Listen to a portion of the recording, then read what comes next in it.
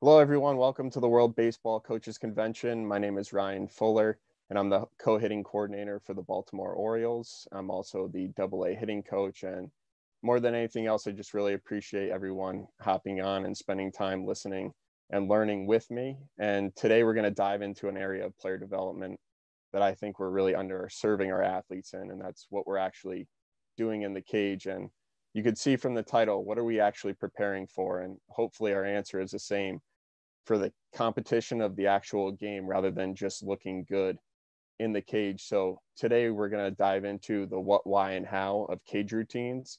And with that, once we have a good understanding of what we do, why we do it, and how we go about doing it, build out a plan for a specific player type. So with that, we're going to start with asking a lot of questions and hopefully getting better answers. So first of all, are we all the same? that should be an emphatic no. Just looking at Jose Altuve, Aaron Judge here, we could see that first of all, their body types are incredibly different. Okay. The length of their limbs, Aaron Judge's legs go up to Jose Altuve's chest here. So we could see that length of arms, length of legs, body type, incredibly different. Each player is going to be mobile, stable in different segments and parts while others are going to have different issues to tackle. Experience is going to play a key role here. What a 13 year old is doing in a cage should be far different from a player in the GCL, also compared to a player in the major leagues. So we should obviously not be doing the same things in the cage based off of experience. How about just normal strengths and weaknesses? One guy is going to be working on pulling the ball more consistently, another is going to be working to hit more line drives and get it off the ground a little bit more. So obviously, we're all working on something different. And finally, emotions. This is going to change at bat to at bat, day to day, year to year. So obviously, we're not all the same. We're ever changing. And obviously, our plan should include that. So the next question, what do we all do in the cage? And I feel very confident being in cages for the last decade that when you walk in, you see a father and a son, an instructor or another coach working with a player, you're going to see them probably start on the tee to warm up, maybe mix in some single hand work with a short bat or their bat. Then they're going to progress into easy flips with the coach just underhanding balls right down the middle. Then move into arm BP, what we kind of say 40 from 40, 40 miles per hour from 40 feet away right down the middle. And then if we're really feeling saucy, we're going to use the machine, maybe gear it up to where it's just a little uncomfortable, but still an area where we feel good about barreling every ball up. So is that the best?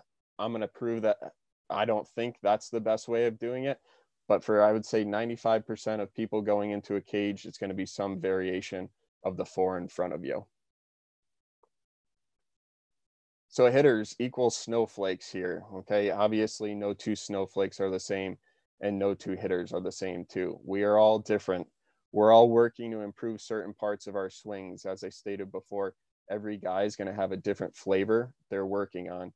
So, with that, why would we train the same? Why are we all going to take the same amount of reps off the tee where the ball isn't moving, right into easy flips where the ball's coming into the same spot more or less every time?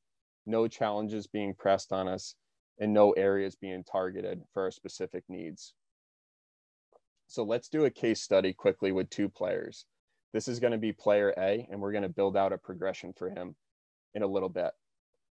He has an extreme negative attack angle. So the bat head working down into contact. He's going to see a lot of flares to right field and a high ground ball percent. So standing very tall, throwing the hands down he has no idea what it is to have some posture and hip hinge in his swing. So he's not getting into an athletic position to be able to put force into the ground and efficiency efficiently sequence that energy up the chain. However, this guy has a big engine. He hits balls really hard. So we could see that with a few adjustments, hitting the ball on a line a little bit more frequently, he's going to have a lot of success. So let's go to player B, daddy hacks only. Okay. On the flip side, his attack angle is way too high. So he's swinging uphill and not staying on plane as long as he should. he has a poor attacking posture. And what I mean by that is when we get to front heel plant, what a lot of people call launch position, his shoulders are going to already be pointing to the sky. So we could see that attack angle is going to move on that shoulder line too. And unfortunately for this guy, he has real, really low exit speed. So for someone who hits the ball in the air at soft speeds, that's going to equate to a lot of outs. So we look at player A and player B, clearly two different things to be working on and addressing. Should these guys have the same routine? And Shannon Sharpe says, absolutely not. Okay. It's a disservice to these players to just say, hey, if you hit off the tee, if you do flips, you're going to get better and not giving them any good information or awareness of what needs to be worked on. So before we start breaking down what a good routine looks like, let's ask ourselves why do we do what we do? Why is it so prominent that we do T flips and easy BP? And the first one is just somebody told you to do it. And usually this comes from someone at a higher level than us, whether that be a coach, a player at a higher level, where they say, Yeah, I hit off the tee, I do flips, BP, and then that's how I get my work in. So when we're younger, we see other people doing a certain part of their routine and we pick it up. Secondly, it looks big league. We saw it on MLB Network, uh, big league player we really loved hitting off the tee. We say, man, if it works for him, it's got to work for me. That's what's going to get me to the highest level. Next is you just don't know anything else. So instead of going to the cage and feeling out of place, the tee is really convenient. Okay, somebody tells you, hey, this is what a good progression looks like. This is what you should do in the cage. You don't know any better, and that becomes your routine out of necessity. And my favorite, it worked once.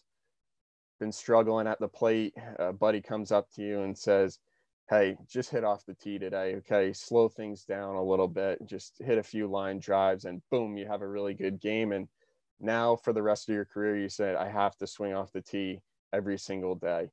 And some of the answers why we do what we do, but really no hard facts here of this is what I need to be working on. I know why I need to be working on it. And this is going to be my progression moving forward. So, what do we want it to look like?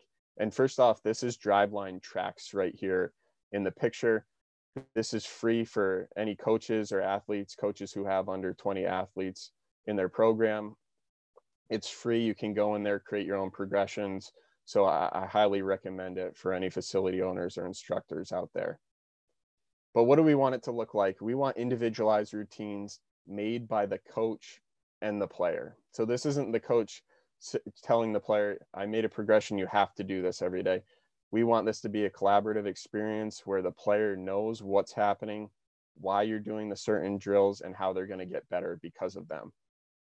We definitely want to have movement prep in there. A player should not warm up by swinging the bat. They should get hot, get their body and mind in the same page, and work on those movement qualities that's going to help their swing before ever touching a bat obviously with our individualized progression we want to work on areas of improvement okay? So that player staying really tall hitting a ton of ground balls we want to see him hit more line drives so it should be targeted toward that area. And we have to remember to be flexible here okay? Because we make a progression in january doesn't mean we have to use it again in february march april. This could be boom we made goals we hit the goals we wanted to hit. Let's make out an, a new one in two weeks. So remember to be flexible here because you make a progression in the cage. It doesn't mean we're tied to it forever.